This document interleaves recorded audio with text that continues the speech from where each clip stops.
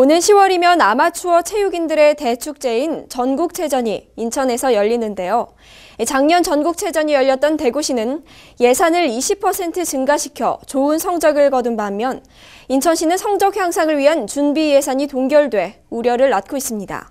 보도에 강석 기자입니다. 올해 인천시 체육회의 경기력 향상 예산은 110억 원 가량, 작년과 비슷한 수준입니다. 반면 지난해 전국체전이 열렸던 대구시는 재작년에 비해 20%를 더 투자했고 그 결과 전국체전 2위의 성적을 거뒀습니다. 2011년도에는 81억대 있고요. 2012년도에는 98억입니다. 대회는 9개월 남았는데 전국체전을 치르는 도시에 걸맞는 예산 지원이 안 되고 있는 겁니다. 예산도 부족한데 시체육회 소속 운동팀도 줄었습니다. 작년 체육회 소속 운동팀은 23개, 그중 펜싱과 핀수영 팀이 해체됐습니다.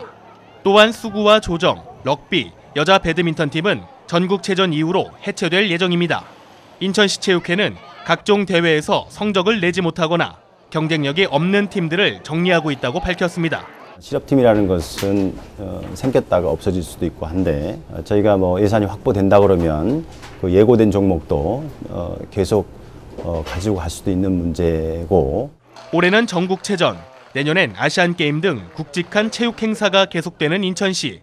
재정난 속에 체육계에도 칼바람이 불고 있습니다. 경인방송 강석입니다.